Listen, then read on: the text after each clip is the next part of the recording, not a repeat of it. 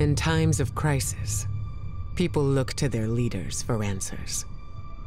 But ever since the planets were ripped from our sky, it seems all I can offer are more questions. And now, with Mars returned, I hardly know where to start.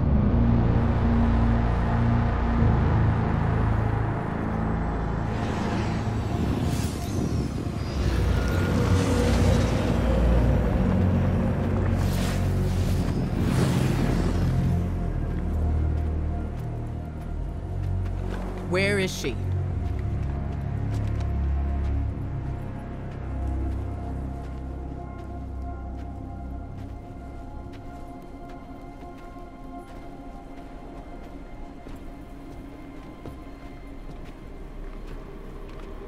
Your theory was correct. The relic is of the pyramids. There's no doubt. Word is out about Mars.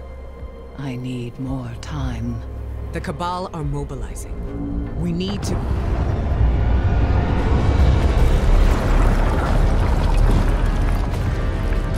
Secure the camp!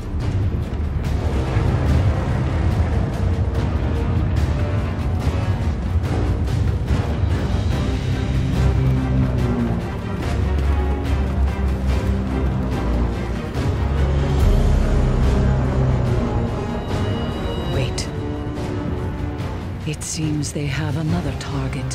What are they aiming at?